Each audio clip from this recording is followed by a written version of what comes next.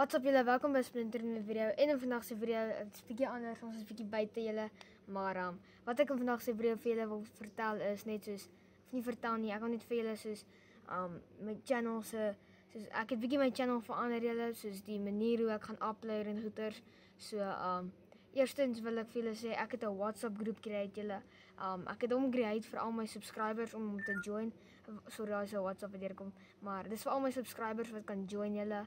Um soos al die, soos as julle dit kan join asseblief. Dis net om dit meer georganiseer te te hê en um as julle dit join kan ons kan ek soos um soos ek gaan heeltyd soos die tye deurstuur van wanneer ek gaan stream en al daai goeders. As julle dit kan join is in die description julle die link is in die description. Gaan join dit nou asseblief. Gee julle nou kans asseblief.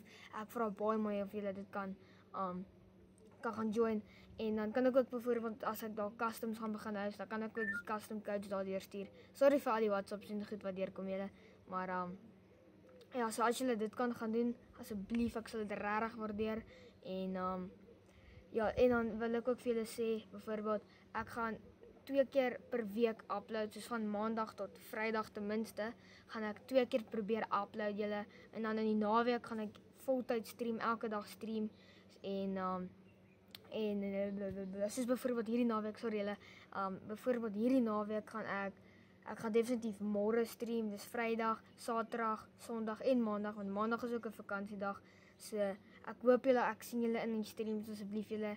En um as julle kan die link na al julle chommies toe share.